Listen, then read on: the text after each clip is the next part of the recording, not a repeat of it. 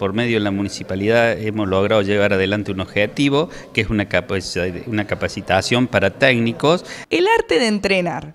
Así se llamará la capacitación gratuita para directores técnicos, referentes sociales y padres, organizada por la Liga de Baby Fútbol junto al Consejo Liberante y el municipio una clínica donde bueno pueden participar los técnicos del Babi, va a ser obligatorio, y todo el público presente. Una capacitación para ver, para tratar chicos de tan pequeña edad, ¿cierto?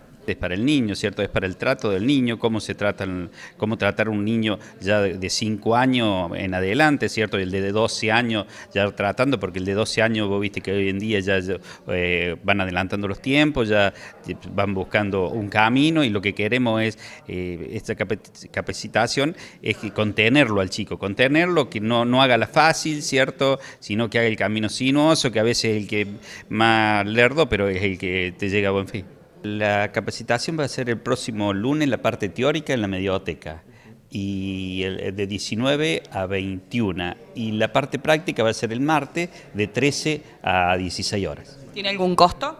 No, no. Serán dos días de capacitación teórico-práctica, la cual apunta a ponderar la práctica del fútbol para la contención social de niños en riesgo. Y la problemática que estamos viendo constantemente es que los padres se quieren salvar con el chico, ¿me entiendes lo que te digo? Y bueno, y no es así. Yo creo que el chico primero lo que hay que enseñar en la vida es que sea buena persona. Después, bueno, si viene acompañada la suerte del lado, pero todos quieren tener un Messi y se transforman en la cancha, ¿me entiendes lo que te digo? Y eso lo pone mal al chico. Sí, puede ser una frustración después de grande, ¿no? Exactamente, ninguna duda que hace.